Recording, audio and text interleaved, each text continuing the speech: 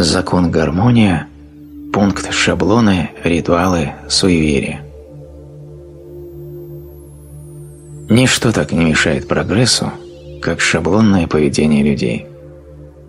Шаблон – это склонность к упрощенному шаблонному поведению и типовым ответам. Диалог в лифте. «У вас собака бойцовая порода?» «Нет, собака из группы терьеров». Сегодня по радио рассказали, что бойцовая собака загрызла хозяина. «А у вас сыну сколько лет?» «Восемнадцать». Сегодня по телевизору показывали, как 18-летние подростки ограбили и убили таксиста. «А при чем здесь мой сын? А при чем здесь моя собака?» Сказать спасибо за такое мышление можно особенностям нашего головного мозга. Это шаблон, который уменьшает и упрощает объем информации, потому что вникать головному мозгу в детали очень энергозатратно. Оттого все живое стремится минимизировать любые действия, в том числе и мыслительные процессы. Опять обратимся немного к науке. Этолог Протопопов даст нам небольшую лекцию. Исключительно важной для нас разновидностью шаблонов являются врожденные шаблоны, порождающие инстинктивное реагирование. Привлекательность врожденных шаблонов состоит не только в том, что они вовлекают в обработку малоисходных данных, но и в том, что эта обработка осуществляется глубокими, древними и специализированными структурами мозга, работающими быстро и экономично. Именно это обстоятельство позволяет инстинктам человека жить и процветать, несмотря на, казалось бы, массу альтернативных способов анализа окружающего мира. Разновидность шаблонов – использование готовых решений, выработанных другими людьми, что, например, широко практикуют школьники и студенты, когда списывают ответ у отличника. Любому живому существу присуще активное стремление ездить за чужой счет, и умственная деятельность здесь никак не исключение. Другое дело, что субъективно это стремление выглядит, как правило, совсем не криминально, а даже пафосно, как доверие авторитетам, традициям, устоям, ценностям и тому подобное. Думать практически не надо. Просто нужно следовать готовым схемам, кем-то предложенным, и не обязательно навязываемым принудительно.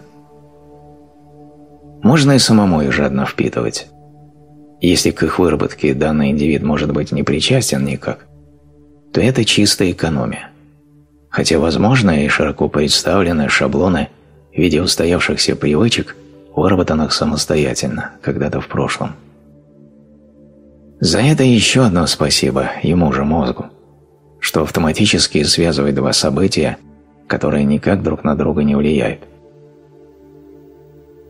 Любое случайное действие, которое однажды привело к успеху, он считает важным событием – без него в следующий раз не обойтись. Помните, как нас воспитывает Вселенная и законы эволюции? Кнут и пряник. Дали вкусненькое в одном месте, туда же пошел за добавкой. Например, если хищная птица под одним кустом найдет зайца, то следующие 10 дней обязательно будет под этот куст наведываться. Если животное получило разряд тока в определенном месте, то оно будет обходить этот участок за десятки метров. Все помним эксперименты профессора Павлова с его собачками и условными рефлексами. Это из той же серии, называется «динамический стереотип». И эта особенность так глубоко заложена в каждом организме, что справиться с врожденным поведением непросто. Вот и человек с особенностью вести себя ритуально, считай шаблонно, делает так же. Суеверия всегда ведут к ограничению себя в возможностях и развитии. Эту особенность важно знать и просто работать над этим чуть больше. Ритуалы и суеверия Приведу отрывок из книги биолога Прайор Карен «Не рычите на собаку». Пример – человек, грызущий карандаш. Если во время экзамена вам случится взять в рот карандаш, и тут же вас посетит правильный ответ или хорошая мысль, то это подкрепление может изменить ваше поведение. Когда грыз карандаш, пришли хорошие мысли. Таким образом, это действие подкрепляется. Человек начинает верить, что это помогало ему думать. В действительности же это было всего лишь случайно обусловленное поведение. То же самое можно сказать в отношении определенной одежды или совершения некоего ритуала перед тем, как взяться за какое-либо дело. Биолог Прайер подметила, что многие потомственные дрессировщики находятся в плену у суеверного способа мышления и поведения. Среди них встречаются те, кто говорит, что дельфины предпочитают людей, одетых в белое, что мулов необходимо бить, что медведи не любят женщин и так далее. Это относится и к тем, кто работает с людьми и считает, например, что на пятиклассников необходимо кричать, и что наказание необходимо, чтобы добиться уважения. Такие воспитатели находятся во власти традиции. Они вынуждены всегда работать одними и теми же способами, так как не могут отличить действенных методов от того, что является просто суеверием. Это шаблонное поведение обнаруживается у представителей многих профессий – в образовании, технике, военном деле – но в большей мере, пожалуй, медицине. Метры рецептов выписывают пациенту не потому, что все препараты обладают чудесными свойствами, а просто потому, что так всегда делали или все сейчас делают. Интересно, что суеверное поведение не исчезает, если вы просто указываете на его неэффективность. Будучи прочно заученным человеком, оно сильно оберегается. Попробуйте поговорить с врачом о его привычке использовать неэффективное или даже вредное лечение, и вы получите отпор в соответствующих выражениях. Также спортсмены с суеверным выражением нервного возбуждения будут яростно противиться всякому, кто предложит им играть в мяч, скажем, без кепки, до которой он четырежды дотрагивается, или оставить плюшевую мишку, счастливчика у себя дома. Единственный способ избавиться от суеверного поведения – это убедиться, что оно не связано с подкреплением. Перестаньте загонять себя в коробки условностей и ставить себе границы. Вы автор своей жизни или жертва обстоятельств. Будьте свободны. Выбор всегда за вами.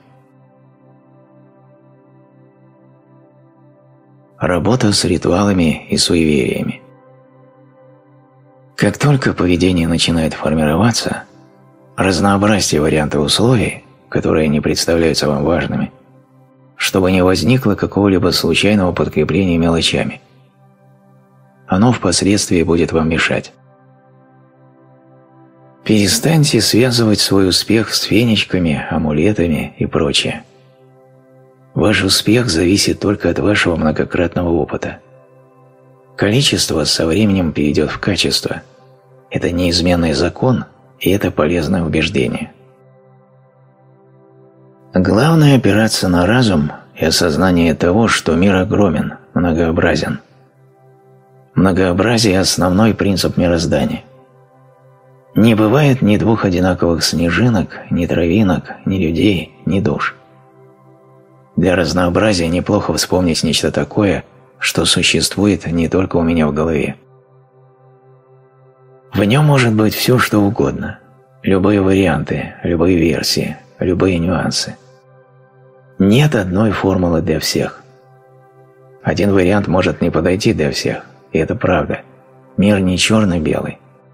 Его палитра состоит из множества оттенков. Это радуга и буйство красок – Придерживайтесь следующих пунктов. Если оцениваете людей, ситуацию, себя, то не поверхностно, а с учетом дополнительной информации. Анализируйте, идите вглубь. Перестаньте порхать, как водомерка по воде. Загляните под воду. Во всех делах очень полезно периодически ставить знак вопроса к устоявшемуся убеждению. Перепроверяйте информацию сами, а не собирайте мнение критиков и авторитетов. Осмельтесь мыслить самостоятельно. Когда начинаешь сомневаться в мыслях авторитетов, тогда начинаешь мыслить сам. Учитесь думать сами, берите из любой информации то, что вам ложится на душу, и составляйте из этих пазлов свою картину мира. Научитесь легко создавать полезные и нужные убеждения и отказываться от ограничивающих. Итого общий рецепт прост. Чтобы достичь успеха, нужно уходить от привычных шаблонных действий. Действуй много и разнообразно. Практика. Исходная ситуация «черная кошка перебежала вам дорогу». Ваша фраза на эту ситуацию «с каждой перебежавшей кошкой мне приходит все больше новых возможностей в том-то и том-то». Здесь вы заранее ставите свою цель и представляете, как эта энергия по коридору доходит до вашей мечты, а там полная картина маслом, уже сбывшаяся мечта. Работа над шаблонами поведения. Человек по жизни постоянно наступает на одни и те же грабли и не делает выводов, тем самым усугубляя свое будущее. Сюда относятся неэффективно работающие психологические и поведенческие паттерны, шаблоны модели, своего рода серийность поведения. Например, человек не умеет поддерживать разговор в группе людей, такой зануда, от которого все шарахаются. Или человек слишком много болтает, не давая сказать остальным, перетягивая одеяло внимания на себя. Таким людям тяжело ужиться с окружением. Или человек склонен к негативной критике в чужой адрес, по поводу и без повода. Но в свой адрес обратную связь категорически не принимает или не видит. Почему мы не видим своего поведения? Это особенность нашего мозга. Наработанная годами нейронная связь, то есть привычка, проскальзывает как рефлекс со скоростью болида в 400 км в час. Как работать над собой в этом случае? Здесь работа идет на приобретение нового полезного поведения. То есть у вас отсутствует полезный поведенческий навык, вы видите этот пробел в своем развитии, хотите приобрести новый шаблон и встраиваете его в течение 21-45 дней. Самое сложное в этой работе – увидеть себя – Часто человек считает своим достоинством или нормой неадекватное поведение. Обратитесь к адекватным, компетентным, мудрым людям из своего окружения. Сходите на развивающие тренинги, курсы или к психологу за обратной связью. Они расскажут, что у вас не так, что подтянуть, что улучшить в своих реакциях. Хорошо бы записывать себя на диктофон или снимать на видео – и многократно просматривать. Это реально помогает. Даже тогда, когда считаешь себя эталоном, всегда есть куда расти, и нет предела совершенству. Первая задача – увидеть себя со стороны. Закон гармония – пункт осуждения. Один из важнейших подпунктов нарушения данного закона гармония это осуждение, перемывание костей ближнему. С точки зрения космических законов, энергетическое нападение на соседнюю клетку нашего общего организма космос. При осуждении идет заражение людей низковибрационной энергией, которая воздействует как на сам объект, так и на все вокруг. И сейчас по Земле идет самая главная эпидемия – осуждение соседней клетки – на высшем уровне Творца нет добра, нет зла, нет плохого и хорошего. Во всем есть глубинный замысел. Для чего-то данная клетка космоса оступилась в разрез с устоями и мнениями. Я уже приводила примеры, как экологично помогать людям, которые нарушают правила мироздания. При всей внутренней любви к человеку можно и нужно жестко пресечь зло, применив все возможности уголовного права. Если оступился близкий, то поставить его виртуально в своем воображении в круг близких или ангелов и говорить ему 10-15 минут о том, что он мудрый, добрый, щедрый и так далее. В то же время выстроить формат отношений, который будет способствовать исправлению ошибок. Например, мать усиленно пилит сына за то, что он после своей устроенной вечеринки загадил всю квартиру.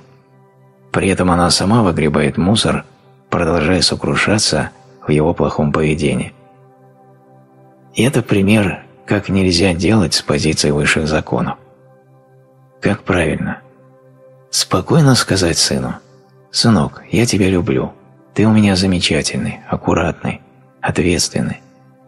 Я уверена, что ты справишься с уборкой после вечеринки. Сколько нужно тебе времени?» «Отлично. Если в это время не уложишься, пойдут штрафные санкции.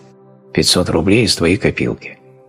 Очень тебя люблю» поцеловать – подкрепление нужного поведения, и пойти заняться своими делами. И если даже он плохо справится с уборкой, то можно позже доубираться, как вам нужно, или подправьте все до полного порядка вместе с ребенком, хваля его за помощь. Главное не ругать его за то, что все делает не идеально, так как вам надо. Иначе вы ему все руки отобьете своими негативными реакциями. Все живое стремится к радости и убегает от боли, а негативная критика – это психологический прессинг, говорящий о том, что ты плохой. А значит, подсознательно ребенок считает себя изгоем, а это на подсознательном уровне равносильно страху смерти. Мучающее молчание члена семьи после ссоры – это тоже акт изгнания виновника из племени. Это самый простой способ наказать. Но поверьте, отношения ваши этим вряд ли наладишь. Нужно разговаривать с близкими и решать вопросы сразу по мере поступления их в конструктиве, спокойствии и позитиве. Перемывание костей ближнему. Забудьте эту дурную привычку, как страшный сон. Этим каждый из нас серьезно отягощает свою карму и всего человечества. Вроде пустяшное нарушение, а за этим стоит огромный энергетический солитон, эгрегор осуждения, который вытягивает и отравляет нашу жизнь. Представьте 7 миллиардов людей, большая часть которых постоянно занимаются осуждением, а как следствие – возмущением пространства Земли – она уже так устала.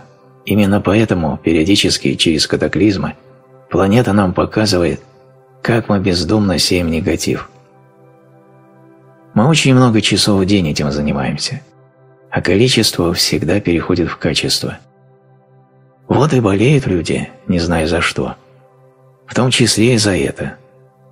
Уберете эту привычку, сразу почувствуете, как ваше здоровье начнет улучшаться. Более подробно об осуждении будет рассказано в законе единения. В нем будут даны дополнительные рецепты, как нам, землянам, выйти на другой качественный уровень взаимодействия друг с другом. Учитесь переводить свои деструктивные чувства в свой дополнительный ресурс.